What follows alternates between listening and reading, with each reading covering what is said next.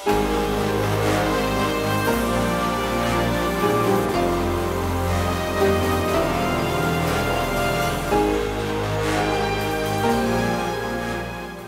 Garage ਪਹਿਲੀ ਵਾਰ ਨਹੀਂ ਆਇਆ। ਮੈਂ ਚੌਥੀ, ਪੰਜਵੀਂ ਵਾਰ ਗਰਾਜ ਦੇ ਵਿੱਚ ਆਇਆ। ਅੱਜ ਸਾਡੇ ਪੁਰਾਣੇ ਸਾਥੀ ਅਵਿਨਾਸ਼ ਚੰਦਰ ਜੀ ਜਿਹੜੇ ਕਿ ਮੇਰੇ ਨਾਲ ਹੀ ਵੀ ਐਮਐਲਏ ਰਹੇ ਨੇ ਤੇ ਬੜੀ ਸਾਡੀ ਆਪਸ ਵਿੱਚ ਭਾਵੇਂ ਇਹ ਕਲਰ ਪਾਰਟੀ ਸੀ, ਪਰ ਲੇਕਿਨ ਕਿਸੇ ਰਿਸਪੈਕਟ ਬੜੀ ਰਹੀ ਹੈ ਤੇ ਮੈਂ ਇਹਨਾਂ ਨੂੰ ਰਿਕੁਐਸਟ ਕੀਤੀ ਵੀ ਭਾਈ ਤੁਹਾਡਾ ਪੁਰਾਣਾ ਹਲਕਾ ਹੈ। ਤੁਸੀਂ ਜਾ ਕੇ ਮੋਰਚਾ ਸੰਭਾਲੋ ਤੇ ਇਹਨਾਂ ਨੇ ਸਾਡੀ ਰਿਕੁਐਸਟ ਮੰਨ ਕੇ ਅੱਜ ਇੱਥੇ ਹਾਜ਼ਰ ਹੋਏ ਨੇ। ਪਲੱਸ ਜਿਹੜਾ ਲੋਕਲ ਮਾਹੌਲ ਹੈ, ਬੜਾ ਵਧੀਆ ਇਸ ਵੇਲੇ ਰਿਸਪੌਂਸ ਬੜਾ ਚੰਗਾ ਹੈ, ਲੋਕਾਂ 'ਚ ਉਤਸ਼ਾਹ ਵੀ ਹੈ।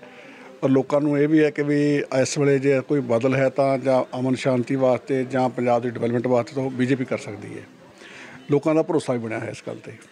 ਤੇ ਇਸ ਕਰਕੇ ਜਿਹੜੀਆਂ ਬਾਕੀ ਪਾਰਟੀਆਂ ਨੂੰ ਹੈ ਸਾਰੀਆਂ ਖਿੰਡੀਆਂ ਪੁਣੀਆਂ ਪਈਆਂ ਨੇ, ਲੇਕਿਨ ਕੋਈ ਕਿਸੇ ਨੂੰ ਲੈ ਕੇ ਆ ਰਿਹਾ, ਕੋਈ ਕਿਸੇ ਨੂੰ ਸ਼ਾਮਲ ਕਰਨ ਦੀ ਕੋਸ਼ਿਸ਼ ਕਰ ਰਿਹਾ, ਕੋਈ ਦੂਸਰੇ ਕਿਸੇ ਹੋਰ ਚੈਨਲ ਦੇ ਲੜਨ ਦੀ ਕੋਸ਼ਿਸ਼ ਕਰ ਰਿਹਾ, ਪਰ ਬੀਜੇਪੀ ਦਾ ਆਪਣੇ ਕਮਲ ਦੇ ਫੁੱਲ ਦੇ ਉੱਤੇ ਇਲੈਕਸ਼ਨ ਲੜੂਗੀ। ਅਤੇ ਜਿਸ ਤਰੀਕੇ ਨਾਲ ਇੱਥੋਂ ਦੇ ਜਿਹੜੇ ਸੀਨੀਅਰ ਲੀਡਰ ਨੇ ਸ਼ਹਿਰ ਦੇ, ਉਹਨਾਂ ਵੱਲੋਂ ਰਿਸਪੌਂਸ ਦਿੱਤਾ ਜਾ ਰਿਹਾ। ਪਲੱਸ ਮੈਂ ਕੱਲ ਅਪਰਾ ਵੀ ਗਿਆ ਫਲੌਰ ਚ ਵੀ ਗਿਆ, ਤੇ ਉਹਨਾਂ ਸਾਰਿਆਂ ਨੇ ਤਕਰੀਬਨ ਬੜਾ ਵੱਧ ਚੜ ਕੇ ਹਰ ਮੀਟਿੰਗ ਹਿੱਸਾ ਲਿਆ। ਤੇ ਹੁਣ ਅਸੀਂ ਇਸ ਤੋਂ ਬਾਅਦ ਸੋਮਵਾਰ ਤੋਂ ਸਟਾਰਟ ਕਰ ਰਹੇ ਹਾਂ ਪਿੰਡਾਂ ਦਾ, ਸਾਰੇ ਪਿੰਡ ਪਿੰਡ ਜਾਣ ਦਾ ਆਪਣੇ ਅਵਿਨਾਸ਼ ਜੀ ਆਏ ਨੇ, ਇਹਨਾਂ ਦੀਆਂ ਸੇਵਾਵਾਂ ਵੀ ਲਵਾਂਗੇ। ਪਲੱਸ ਜਿਹੜੇ ਬਾਕੀ ਲੀਡਰ ਸਾਹਿਬਾਨ ਨੇ, ਉਹਨਾਂ ਨਾਲ ਜੁੜ ਕੇ ਅਸੀਂ ਸਾਰਾ ਇਸ ਤੋਂ ਦਾ ਜਿਹੜਾ ਇਲੈਕਸ਼ਨ ਦਾ ਬਿਆਨਬੰਦੀ ਬਣਾਵਾਂਗੇ ਤੇ ਇਲੈਕਸ਼ਨ ਜਿੱਤਾਂਗੇ। ਸਭ ਤੋਂ ਪਹਿਲਾਂ ਤਾਂ ਮੈਂ ਫਲੋਰ ਦੀ ਧਰਤੀ ਨੂੰ ਪ੍ਰਣਾਮ ਕਰਦਾ। ਇੱਥੇ ਤੁਸੀਂ ਮੈਨੂੰ ਬੜਾ ਵੱਡਾ ਮਾਣ ਬਖਸ਼ਿਆ ਸੀ। ਉਸ ਤੋਂ ਬਾਅਦ ਸਾਰੇ ਹਲਕਾ ਨਿਵਾਸੀਆਂ ਨੂੰ ਸਤਿ ਸ੍ਰੀ ਅਕਾਲ ਤੇ ਜੈ ਭੀਮ। ਬਹੁਤ ਖੁਸ਼ੀ ਦੀ ਗੱਲ ਹੈ ਕਿ ਭਾਰਤੀ ਜਨਤਾ ਪਾਰਟੀ ਵੱਲੋਂ ਦਿਨ ਪਰ ਦਿਨ ਵਾਧਾ ਕੀਤਾ ਜਾ ਰਿਹਾ ਹੈ। ਸਾਡੇ ਨਾਲ ਭਾਰੀ ਸੰਖਿਆ ਦੇ ਵਿੱਚ ਸ਼ਾਮਲ ਹੋ ਰਹੇ ਲੋਕ, ਉਸੇ ਕੜੀ ਦੇ ਤਹਿਤ ਅੱਜ ਗੁਰਾਇਆ ਸ਼ਹਿਰ ਦੇ ਵਿੱਚ ਵੀ ਆਪਣੇ ਗਾਬਾ ਪਰਿਵਾਰ ਤੁਸੀਂ ਸੁਣਿਆ, ਇਹ ਸਾਡੇ ਨਾਲ ਅੱਜ ਸ਼ਾਮਲ ਹੋ ਰਿਹਾ ਕੁਝ ਹੋਰ ਸਾਥੀ ਵੀ ਸ਼ਾਮਲ ਹੋ ਰਹੇ ਆ, ਤੇ ਮੈਂ ਇਹ ਮਹਿਸੂਸ ਕਰਦਾ ਕਿ ਇਹ ਜਿਹੜਾ ਬਾਈ ਇਲੈਕਸ਼ਨ ਹੋ ਰਿਹਾ, ਇਹਦੇ ਵਿੱਚ ਭਾਰਤੀ ਜਨਤੀ, ਜਨਤਾ ਪਾਰਟੀ ਬਹੁਤ ਵੱਡੀ ਸ਼ਕਤੀ ਦੇ ਨਾਲ ਉੱਭਰ ਕੇ ਸਾਹਮਣੇ ਆਊਗੀ। ਔਰ ਪਿੰਡਾਂ ਦੇ ਵਿੱਚ ਵੀ ਸ਼ਹਿਰਾਂ ਤੋਂ ਵੱਧ ਹੁੰਗਾਰਾ ਜਾਣ ਦੀ ਲੋੜ ਆ।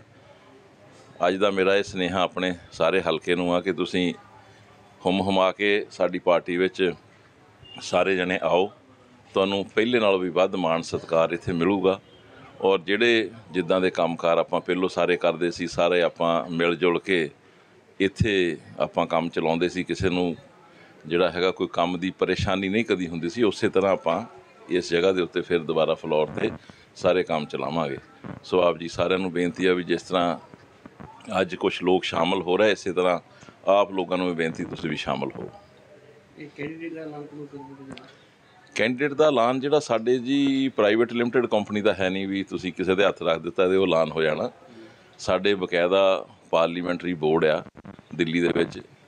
ਉਹ ਸਾਰੇ ਪਹਿਲੋਂ ਜਿਹੜੇ ਜ਼ਿੰਮੇਵਾਰ ਸਾਥੀ ਇੱਥੇ ਲਾਏ ਹੋਏ ਆ ਕੁਝ ਬਾਹਰਲੀਆਂ ਸਟੇਟਾਂ ਤੋਂ ਵੀ ਆਏ ਆ ਕੁਝ ਜਲੰਧਰ ਤੋਂ ਵੀ ਆ, ਸਾਡੇ ਇੱਥੇ ਦੇ ਪੰਜਾਬ ਦੇ ਪ੍ਰੈਜ਼ੀਡੈਂਟ ਆ, ਇੱਥੇ ਦੀ ਪੂਰੀ ਦੀ ਪੂਰੀ ਕੋਰ ਕਮੇਟੀ ਆ, ਉਹ ਸਾਰੀ ਫੈਸਲਾ ਕਰਦੀ ਆ। ਤੇ ਉਹ ਜਦੋਂ ਇਹ ਸਾਰਾ ਫੈਸਲਾ ਕਰਕੇ ਪਾਰਲੀਮੈਂਟ ਬੋਰਡ ਤੱਕ ਜਾਊਗਾ, ਉੱਥੋਂ ਜਦੋਂ ਫੈਸਲਾ ਹੋਗਾ ਤਾਂ ਇਮੀਡੀਏਟ ਤੁਹਾਨੂੰ ਦਿੱਲੀ ਤੋਂ ਹੀ ਪਤਾ ਲੱਗ ਜਾਣਾ ਵੀ ਕਿਹੜਾ ਕੈਂਡੀਡੇਟ ਹੈ ਮੈਂ ਗਰਮੇਸ਼ ਗਾਬਾ, ਅੱਜ ਬੀਜੇਪੀ ਪਾਰਟੀ ਦਾ ਸਾਰੇ ਸਮੁੱਚੇ ਲੀਡਰਸ਼ਿਪ ਦਾ ਬਹੁਤ ਬਹੁਤ ਕੋਟਨ ਕੋਟ ਧੰਨਵਾਦ ਕਰਦਾ ਜਿਨ੍ਹਾਂ ਨੇ ਸਾਨੂੰ ਪਾਰਟੀ ਸ਼ਾਮਲ ਕਰਕੇ ਸਾਡਾ ਮਾਣ ਵਧਾਇਆ। ਅਸੀਂ ਵੀ ਪਾਰਟੀ ਨੂੰ ਵਿਸ਼ਵਾਸ ਦਿਵਾਉਂਦੇ ਆ ਵੀ ਅਸੀਂ ਤਨੋ ਮਨੋ ਧਨੋ ਪਾਰਟੀ ਦੀ ਸੇਵਾ ਕਰਾਂਗੇ ਤੇ ਆਉਣ ਵਾਲੀ ਐਮਪੀ ਚੋਣਾਂ 'ਚ ਇਹਨਾਂ ਨੂੰ ਇੱਥੋਂ ਜਿਤਾ ਕੇ ਭੇਜਾਂਗੇ ਤੇ ਸਾਡੀ ਆਪਣੀ ਪਾਰਟੀ ਹੋ ਗਈ। ਅਸੀਂ ਹੁਣ ਸਾਰਾ ਪਰਿਵਾਰ ਨਾਲ ਸ਼ਾਮਲ ਹੋਏ ਆ ਤੇ ਇਹਨਾਂ ਨੂੰ ਨਿਰਾਸ਼ ਨਹੀਂ ਕਰਾਂਗੇ, ਪਾਰਟੀ ਦੀ ਸੇਵਾ ਤਹਿ ਦਿਲੋਂ ਕਰਾਂਗੇ। ਧੰਨਵਾਦ। ਜੈ ਸ਼੍ਰੀ ਰਾਮ, ਜੈ ਭਾਰਤ। ਸਰ। ਅੱਜ ਗੁਰਾਇਆ ਵਿੱਚ ਭਾਰਤੀ ਜਨਤਾ ਪਾਰਟੀ ਦੀ ਮੀਟਿੰਗ ਹੋਈ ਆ, ਜਿਸ ਵਿੱਚ ਬਲਵੀਰ ਸਿੰਘ ਸਿੱਧੂ ਜੀ, ਜੋ ਕਿ ਹਲਕਾ ਇੰਚਾਰਜ ਫਲੋਰ ਦੇ ਉਹ ਸ਼ਾਮਲ ਆਏ ਆ ਵਿੱਚ। ਭਵਨਾਸ ਜੀ, ਜੋ ਸਾਡੇ ਐਕਸ ਐਮਐਲਏ ਆ, ਉਹ ਵੀ ਵਿੱਚ ਮੀਟਿੰਗ ਵਿੱਚ ਆਏ ਆ। ਮੀਟਿੰਗ ਵਿੱਚ ਕੁਝ ਨਵੇਂ ਬੰਦਿਆਂ ਨੇ ਪਾਰਟੀ ਜੁਆਇਨ ਕੀਤੀ ਆ। ਗਾਬਾ ਜੀ ਸਾਡੇ ਜੋ ਪੁਰਾਣੇ ਮਿੱਤਰ ਆ, ਉਹਨਾਂ ਨੇ ਅੱਜ ਕਾਂਗਰਸ ਛੱਡ ਕੇ ਬੀਜੇਪੀ ਵਿੱਚ ਜੁਆਇਨ ਕੀਤਾ ਹੈ। ਅਕਾਲੀ ਦਲ ਛੱਡ ਕੇ ਬੀਜੇਪੀ ਵਿੱਚ ਜੁਆਇਨ ਕੀਤਾ।